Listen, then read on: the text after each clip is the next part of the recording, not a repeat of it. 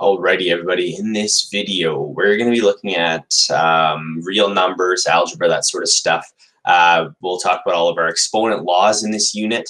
Um, but before we do that, we've got to talk about prime numbers, uh, prime factorization, uh, something called the GCF, or a greatest common factor, which you might have heard about already, uh, and a least common multiple, or a lowest common multiple.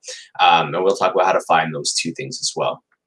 Now, uh, there's a couple definitions down below. Before we get into that, just uh, make sure that you know in the description down below, uh, you're going to see two links. One that will have a blank copy of this uh, video that I'm about to go through with this same notes file, so you can follow along if you like. Um, the other one will have the full filled out solutions key if you just want to look at that and follow along.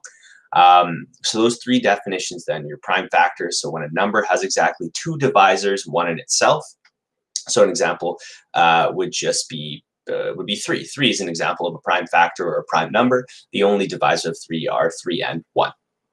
Okay, prime factorization then is taking, it's a process where we're going to write a number broken down to its smallest pieces. So the product of all of those prime numbers. So any number can be broken down into a product of primes. Uh, and that's what we're going to look at in this lesson. Okay, a composite number then is, is going to be a natural number that are greater than one and are not prime. So if a number isn't prime, we would say it's a composite number. Those are our two types. Okay, there's a couple of uh, divisibility rules, um, which you would have learned before. I think number seven is a little obscure, um, so maybe not. But run any number like two, like any number that's even can be divided by two. You can cut it into evenly two groups, okay? Uh, if it's three, uh, the number is divisible by three if the sum of the digits adds up to a multiple of three. And you've got an example on, uh, on the other side. So I won't waste our time here. You can read through those rules. Um, and we can always use our calculators to double check if something is divisible by any given number. Okay, uh, five is your divisibility rule for five. Uh, a number is divisible by five if it ends in five or zero. And seven is the weird one. So uh, a number is divisible by seven if you take the last digit of the number, double it, then subtract the doubled number from the remaining number, and that results in a number divisible by 7. It is a really weird one. It doesn't show up too often um, if you're trying to find it. And again, just take the number you think can be divided by 7, divide it by 7. If you get a whole number, great, it's divisible. Uh, if you get a decimal or anything else, you know it's obviously not divisible by 7, okay? So that uh, you can take a read through those, and they might help you uh, come up with a, a factor or something right off the bat. Um, so a division table can help us break down these large numbers into all of its prime factors. The other way you might see it, and the way that I actually like to do it, um, I like using what's called a factor tree. Okay, this will help us break something down into prime factors. We'll use something similar to a division table later on we talk about the lowest common multiple, uh, but we'll do, talk, talk about that in a couple minutes. Okay, we can then rewrite the numbers as multiplication statements of those prime numbers. Now this process is called prime factorization. Prime factorization. So this is the process of taking a number and breaking it down into its smallest, smallest pieces. Think of taking like uh, a compound and breaking it down into its elements, like table salt, sodium chloride. You can write it as sodium and chlorine. Okay, this is exactly what we're going to do here, break a number down into its smallest pieces. So we're going to prime factorize 3,300. We're going to break that number down into its parts. So we're going to start by obviously having our, our compound, our 3,300.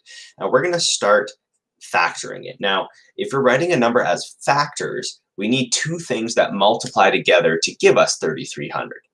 Now, I know it's even, so I could start out by saying 2 is one of those factors, and then whatever's remaining, whatever I multiply by 2 to get 3,300.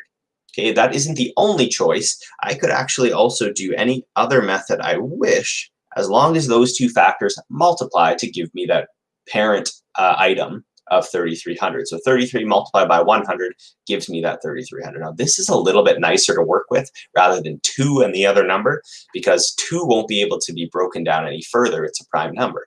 And the other number will be quite large, so I have to think a little bit harder on how to break it down further. So for 33 and 100, I know I can break down 33 as the product of 3 and 11. You know, I can't break those down any further. Those are prime numbers.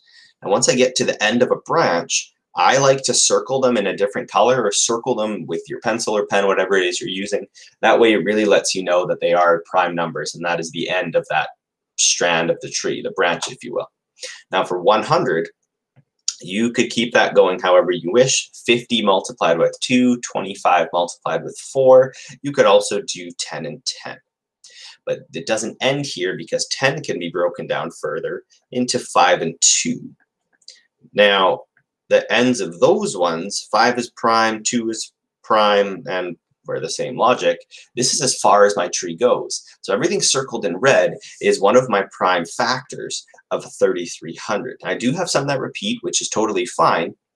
So now we can say, therefore, the number 3,300 is actually equal to all of the ends of those branches multiplied together. So everything we circled in red, my prime numbers, those are the prime factors. If I multiplied all those red circles together, I would get my starting number of 3,300. So I like to write them in decreasing order. So 11 first, then we have two products, or two factors of 5. We've got one factor of 3 and two factors of 2. So here is my multiplication statement, my product of primes, and those are going to be our prime factors. So the prime factors are 11, 5, 3, and 2. Now I do have some that repeat, which is reflected in this multiplication statement up above. Now we can do the exact same thing um, for the other example here. We can do the same thing for B. So if you want to try this one on your own, uh, pause the video and go ahead and give it a shot. Um, I'm going to start going through the answer. So uh, if you do want to try it, make sure you just give it a pause here, try it on your own, and then hit play, and you'll see how you did. So we'll start out with that 2646 number. And again, try to break it down into two different parts. So I know it's even, I could use two. Um, you might be able to try three, four, whatever numbers you want. Um, I actually tried to use seven here. And you'll notice that 378 is going to be the other factor that makes that possible. Now seven is prime, so we're going to circle it. Make sure we know we're at the end of that strand. Now 378 is even can also be further divided however you choose to. I again chose to try 7 and it did work. So 7 multiplied with 54 gave me 378. Now again 7's prime so we'll circle it. 54 you can split it however you wish 27 and 2 9 and 6 uh, whatever combination you like um, I'm actually going to use 9 and 6 9 can be split into its two factors of 3 Three are, is a prime number, so I know I'm at the end there. Six can be split up into products three, two. Okay, now that one is complete as well. So we've gotten all the way down as far as we can go with each of the branches of this factor tree. So now I can write out my multiplication statement. So therefore, so this little triangle symbol kind of looks like a triforce. Those three little circles just stands for therefore. It's just mathematical symbol. We get kind of lazy when we write things out and we like symbols wherever possible. So 2646 equals our multiplication statement. Take all of those prime factors and write them out. So 7 times 7. There's three threes and a 2. Now, some of you might already know this, but you could actually use exponents here like you learned in junior high. So I could write this a little differently and I could do 7 squared because I have two of those 7s. Since they're being multiplied together, that exponent of 2, that's technically what we call something being squared, um, I could do this here. Now, if I've got three of them, that's my exponent of 3. If I were to have 4 or 5, my exponent would reflect the number that I'm multiplying together. So it's not 3 because I have a 3 here. It's 3 because there's three 3's being multiplied together. Okay, the last one there is a 2, and it doesn't have an exponent. Since there's only one 2, we assume that there's an imaginary exponent of 1 there. Okay, so I could write it out like that if I wished. Okay, and then you could state, if you really wanted to, that the prime factors are 7, 3, and 2. Okay, so we've broken them down, those large numbers, into their base components, right? The smallest numbers possible. Okay, so that's prime factorization. Uh, we're also going to talk about a greatest common factor. So what happens now when I'm given two numbers and I want to figure out what they have in common and I want that common thing to be the largest. So now I've got two. So in order to do this, I, the, I really need to know what their component pieces are. I need to know what makes up both of those numbers to figure out what they have in common. Now, we're going to do exactly what we did before. We're going to make two factor trees and see how these numbers are built. If I know what they come from, I can figure out what they have in common. So 138 is what we'll start with. Okay. You can choose to split it up however you want. If it's an even number, starting with 2 is not a bad choice. It just basically cuts off one of your branches really, really short. Because if that first number is a 2, 2 is prime, can't be broken any further. So one side of my tree is just going to get really long. So I'm going to choose not to use 2, and I'm going to use 6. Okay, 6 and 23. Those are two factors. I multiply them together, I get 138. Okay, 6 gets split into 3 and 2. Now 23 um, doesn't get split any further. Okay, 23 is actually a prime number. So my three prime number factors here, 3, 2, and 23. Now, I'm going to do the exact same thing uh, for 198. I'm actually going to write out 138 first, sorry. So 138 is going to be the product 23 multiplied with 3 multiplied with 2, just like we did before, the product of primes. Now for 198, um, split it how you like. Here, let's just assume we don't know what other number to use, and the only one we can think of is 2, because I know it works. Okay, so we'll do 2 and 99. Now 2's prime, so I'm going to end up circling that. So 99 is where we have to go next. And that's going to be uh, 33 multiplied with 3. Okay, that'll give us 99. Now 3's prime, so now I'm working on the 33. So 11 and 3. As soon as I get to that point, 2 is prime, 11's prime, 3 is prime, 3's prime. I've, I've done it. I've broken this down into a product of primes. I just have to write out my statement to reflect that. So 198 is equal to 11 multiplied with 3 two times, uh, and then a 2. Now that I've written out that product of prime statement, we need to see what's in common for both of these. So what we're going to do is we're going to look for any prime factors that are the same for both numbers, and then we're going to circle them. So eh, if I look at the 138 statement, there's a factor of 23. I don't see that in the other one. So I can't say that that's common because it's not common to both. 138's got a factor of 3. There's a prime. 198 I also have a 3. So wherever you see a number in uh, one of your multiplication statements, try to match it up with another one. Now, I know there are two prime factors of 3 and 198, so I can't circle both. It's a 1 for 1. So if I circle 1, 3, I can only take 1, 3 from the other one. Okay, in 138, I see a prime factor of 2, which means I'm looking for a 2 as a factor in 198, which I have. Now, the things that I've circled, they're the same for both. Now remember that these are multiplication statements. So I can actually rewrite them as being 23 multiplied with 3 times 2, which is 6. I can actually put those together. Okay, now for 198, we'll do the same thing. So I've got an 11 multiplied with a 3. That's also being multiplied with that factor of 6. Okay, so I'm not looking for anything else, only the things that are common to both. Both of those numbers have a common factor of 6. 6 is the largest common factor that I'm going to have. That means it is the greatest common factor. So therefore, the GCF of 138 and 198 is 6.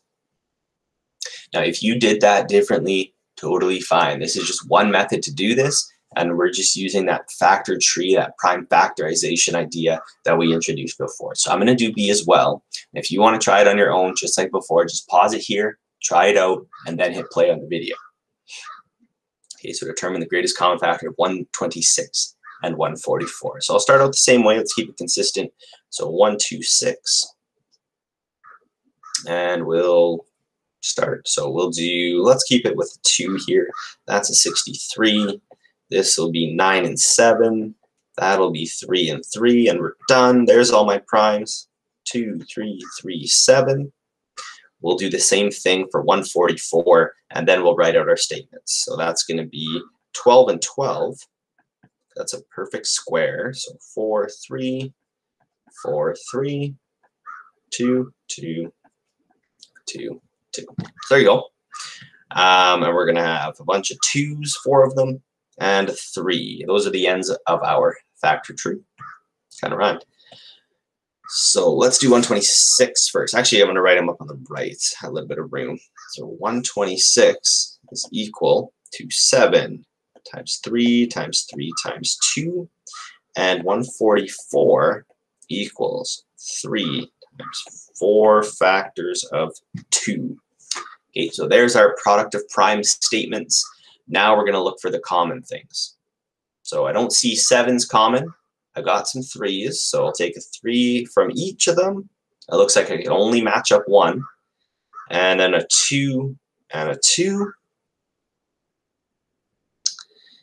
And I'm missing a three right there. Okay. So let me move this. This is for 144. I actually missed one of the factors of 3. That's my bad. Let's fix that up. 3 there. And make sure I put in another multiply.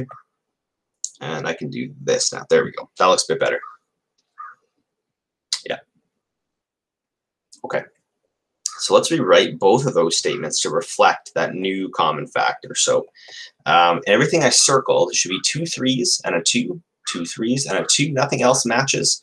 So we're going to be doing three times three, which is nine, times two, which is 18. So that 18 is going to become our common factor. And we're going to be multiplying by whatever's left. So 18 by 7 and 2 times 2 times 2, you can say that's 8. Okay, so the red is actually my common factor. So here, so therefore, the GCF of 126 and 144 is 18. Okay, so we took as much as we could from both. That, that will be our common factor. Whatever's left is just the remaining other factors. So that basically comes from your tree as well. So for 126, you can see that if the only thing I had left was 7, that's one of my primes on my tree that didn't match the other tree okay? So I had an 8, which means I had three 2s. So 2 times 2, which is 4, multiplied with one of those other 2s, that gave me the 8. Okay, we can do the same thing. Maybe we have three numbers. So again, if you really want to challenge, pause it here, uh, and you you can try that out. So I'm just gonna I'm gonna rip through this one pretty quick, um, just because I want to do the lowest common multiple stuff in here too, and I don't want this video to get super super long. So here's 150.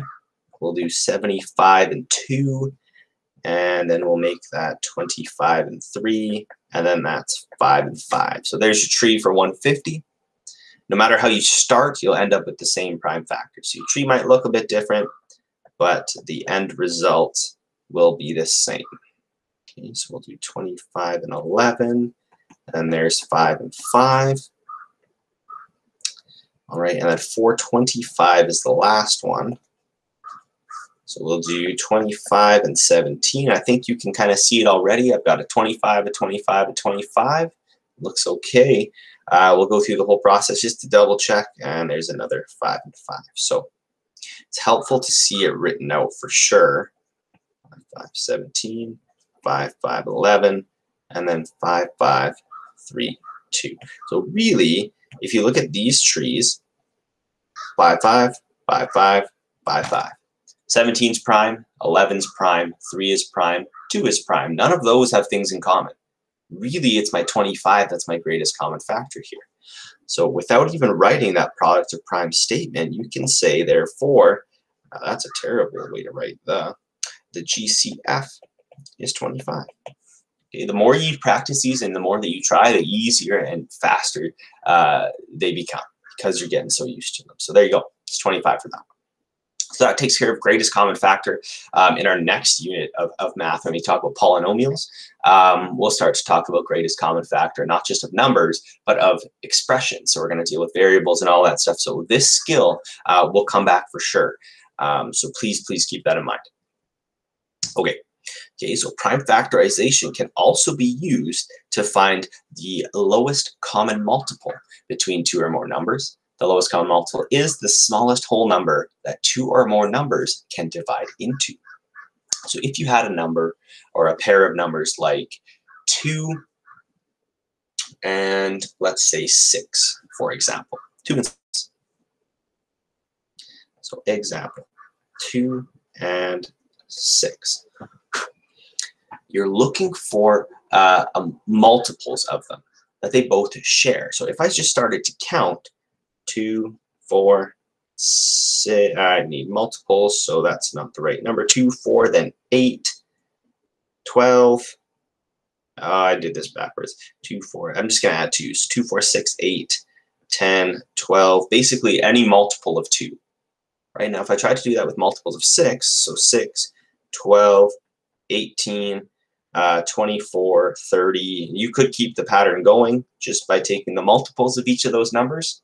You're really just trying to find the first time that they match up, right? So 2, 4, 6, 8, 10, 12. Uh, and I'm not going to do the starting number. So if I look, and I can circle them, that's a common multiple, right? If I actually looked at 6 also, that would be the smallest common multiple. I wouldn't even have to do any multiples of 6. 2 would basically be there. Right? I'm looking for the ones that are the same in both. But what happens if the numbers aren't so nice? Or what happens if I even have three numbers? Okay, There's a bunch of different ways that you could look at this. Now, using that factor tree is absolutely one of them. So we'll do that method here, and then I'll show you a different method for B. So we're going to use the prime factor method like we used before for greatest common multiple. It starts out the same. So you're going to do 18, 20, 30, and this is where you're going to build those trees. So exactly like we did before them. Now the numbers are small, which is nice. So we'll do 9 and 2. This will be 3 and 3. For 20, 10 and 2, we'll do 5 and 2. And then for 30, let's do 5 and 6 and then there's 3 and 2. Now, we just need to write them as product of primes first. So for 18, that's going to be 3 times, actually, I'm going to use the exponent form here because we haven't really done too much of that.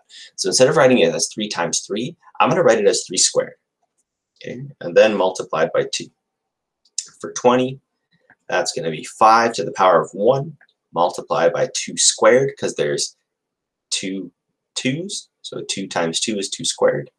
For 30, that's going to be equal to 5 times 3 times 2. Now the way that finding the least common multiple works, if I do it this method, we're going to look at all of the prime factors in that product of prime statement, and we need to pick the largest ones that occur in all three.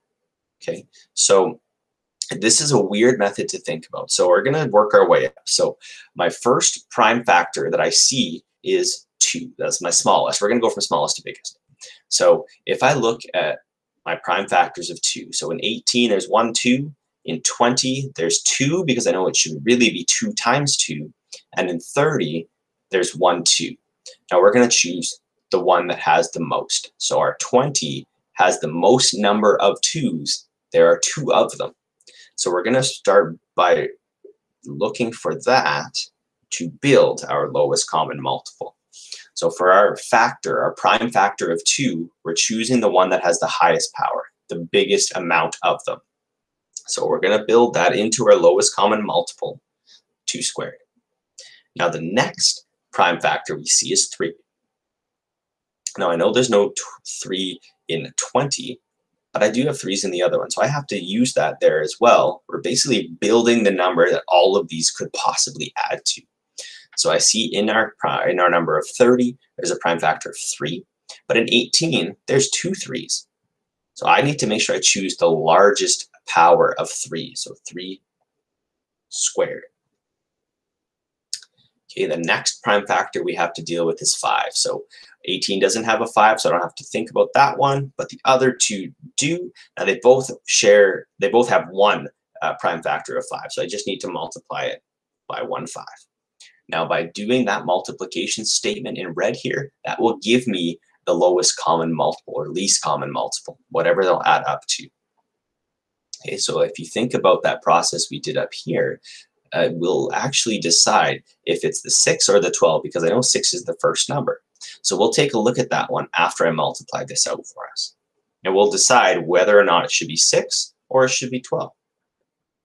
Okay, so 2 squared is 4, 3 squared is 9, and then the 5. So that least common multiple, when you multiply those, is 180 as our LCM. So if you kept the pattern going with these three numbers, 18, 20, 30, and started adding up multiples of them, you'll see that you get to 180 as well. So try it out, uh, but you will get there.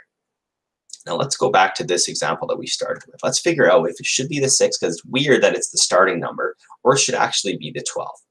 So let's take 2, break it down any further if possible. And I can't. The prime factor of 2 is 2. 2 is a prime number. So for 6, I can break this into 3 and 2. Okay, so my prime factor of 2 is 2. My prime factors of 6 are 3 and 2. So for my lowest common multiple, I'm looking for the highest power of each prime factor in both numbers. So we'll start with the 3. So there's one 3 that exists in 6, so my lowest common multiple gets a 3. For the 2's, there's prime factor of 2 in my number of 2 and a prime factor of 2 in my 6. So there we go. Our least common multiple here is going to be 6. So it's got to be the first one. Even though 12 is still a common multiple, it's not the least common multiple. It's not the smallest one. Okay, that's what I'm looking for. Okay, if you want to try B on your own, go for it. Pause it here, same like before. Uh, we'll get that one done for you as well, but I'm going to show you a different method to do this. Now, it doesn't involve using the factor tree. This actually uses uh, a little bit of division, and I actually like this method a lot more. Okay, so we'll start out by making a little chart. I think that's enough. Okay, so we're going to place our numbers in the top 28, 42, 63, and we're going to have a list of primes on the outside. So the way this is going to work is we're going to pick some prime numbers, but we're going to pick them very deliberately because they have to be factors of one of my three numbers. It doesn't have to be a factor of all three, at least one of them. And we're going to start out by just getting all those primes out of the way. So if I look, I've got a couple even numbers, and I know that 2 is a prime number. So let's start there. So I'm going to start out by saying 2 is one of my prime numbers. Now, if it is, I'm going to try to divide all of the three numbers by that 2. Now, if it can't be divided by 2 because it's odd, you're just not going to divide it. You're going to leave it alone. Okay, that means 2 won't be a factor of that odd number, okay, which makes sense. It's, it's an odd number. So um, we're going to divide 28 by 2 to give us 14, 42 by 2 to give us 21, and the 63 cannot be divided by 2. So we're going to leave it alone. That takes care of one of them. So I know that I'm going to have to account for at least one prime factor of 2 in our lowest common multiple. And we're going to keep going and keep going until we get ones on the bottom, until we're done. So I don't see any more even numbers. So I know 2 won't work again. Uh, 3 has potential to work, but I know for sure that 7 will work. Okay, it'll work with these two because 7 is a prime number, and it's also a factor of 14, 21, and 63. So that's actually a really good choice. So 7's prime. 14 divided by 7 is 2. I'm going to get a 3 there. 63 divided by 7 uh, is going to give us 9. Okay, so that's a good choice. And I really just messed up this table because now I'm mixing colors, but that's okay. Now I can see that 2 is going to work again. That's going to give me my first 1. So let's do a 2. That'll be a 1 here. 3 doesn't get divided by 2, neither does 9. Okay. I don't really want to use 1. 1's not necessarily a prime number because if the only factors are 1 and itself, both of those things happen to be 1, which doesn't really make sense. So 1's not actually a prime number. So as soon as I get to a 1, I know I'm done. So let's go for 3 next. 3 is prime. So 3, there's a 1. 3 divided by 3, that's 1. 9 divided by 3 is 3. So one more prime to take care of. There's one extra prime factor of 3 hidden in here. So there's a 3 again. 1, 1, 1. So now I've gotten to the end. Now here's the list of primes that are going to make up my lowest common multiple. This is actually really nice. I don't have to build a factor tree. So therefore, my lowest common multiple is going to be the product of primes. Product of primes. Okay, so you're going to say that you can put them in order. I could have actually done another factor of two first, uh, but I'm going to rearrange them and put them in biggest, uh, biggest first, smallest. So seven, two threes, two twos. So seven times three times three times two times two. So my lowest common multiple here, if you multiply all that out, is 252. Okay, so we don't really want to keep adding up 28, 42, 63, and row by row by row to see when they match up. That's a lot of work. This algorithm is actually really, really nice, and it gets you those primes right away. All you have to do at the end is multiply them together. Okay, so there's your lowest common multiple. Okay, we'll do the other one underneath as well. We got a couple little uh, applications, word problem type questions, and uh, then we can wrap this video up. So primes. 15, 32, and 44. So here's how we start our division algorithm. And away we go. Just figure out some primes. So uh, let's do three. Yeah, let's do three. Uh, now I'm going to start with five, actually, because five is factored 15. Five. So it'll be a three. That's 32. That's 44 still. Let's do let's do a three. Finish that one out. So one, 32, and 44. Those don't have a factor of three in them. So let's go with twos next. So 16, that's 22. And we can do another two. Okay, so that's a one, that's an eight, and that's an 11. One more two, I guess. There's a four, that's still 11. There's another two hidden in there. So there's a one, there's a two, there's an 11. There's even another two hidden in there. One more. And the last one is an 11. So this one actually had a lot of prime factors that I had to account for. So one, one, one, we're done. Okay, so I've got a five, a three, one, two, three, four, five twos uh, and an 11. So this means my lowest common multiple, the more primes I have, the bigger my lowest common multiple is going to be. Now, this one would be really, really challenging to just do 15, then 30, 45, 60, 70. I keep adding all the way till you found something that matched because the numbers are so different. Okay, so therefore, my lowest common multiple is going to be the product of all of those primes.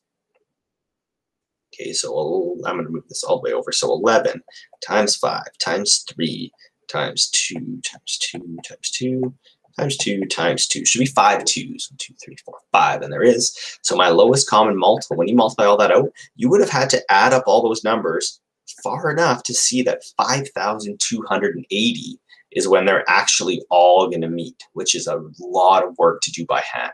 By doing either one of these algorithms, the division algorithm or the factor tree to take the biggest number of primes from each factor, that would also do it. Okay, it'll do it much, much faster than you sitting there and adding with your calculator for forever.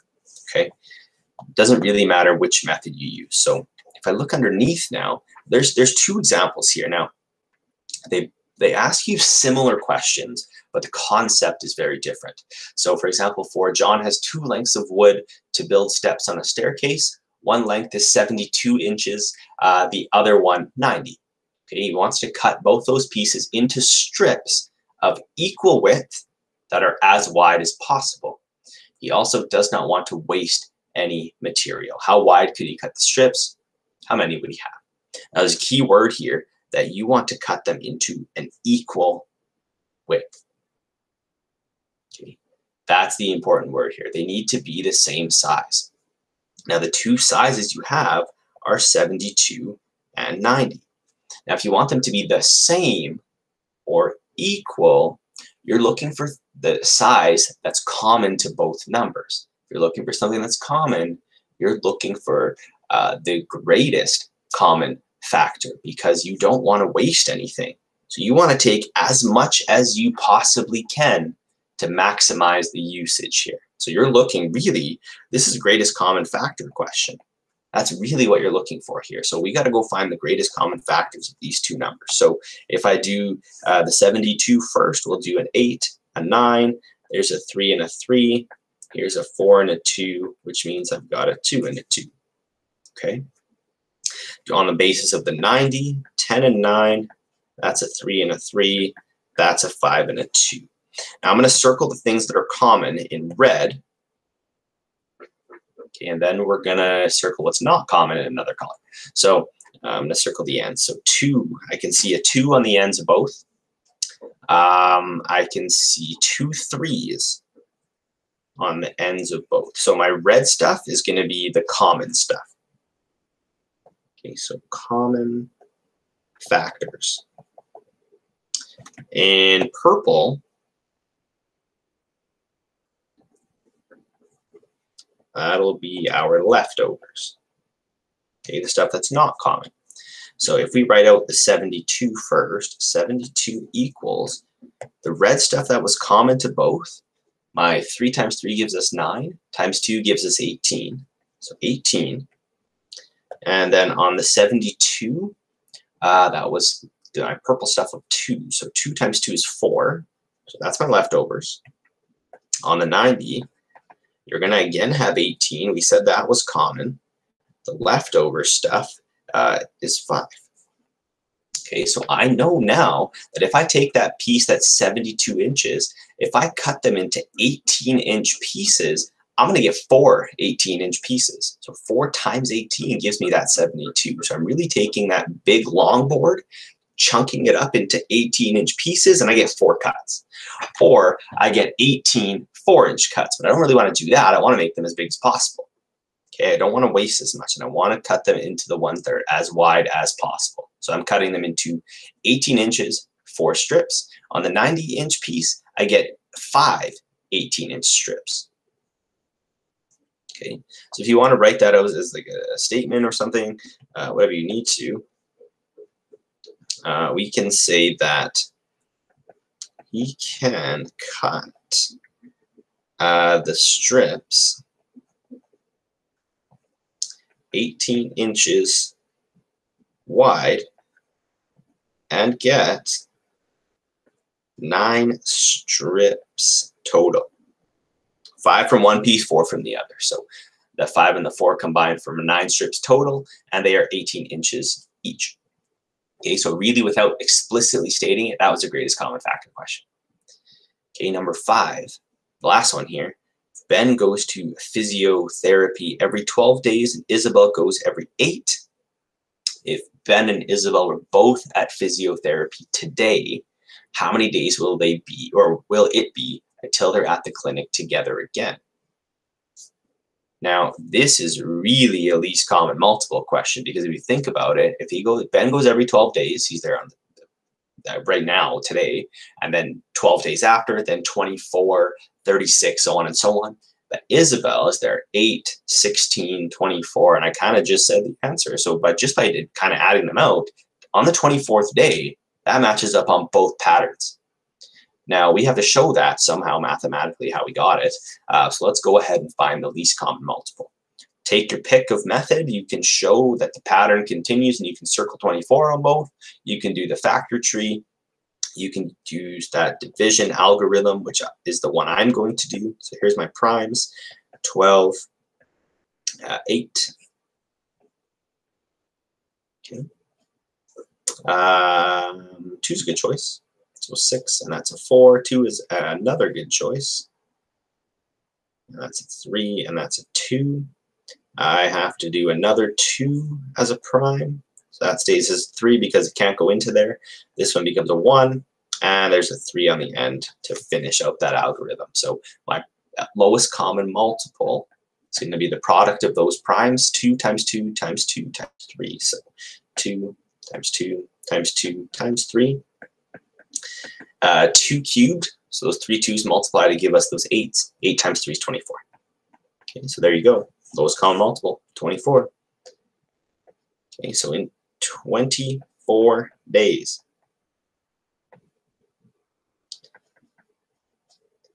they will meet at the clinic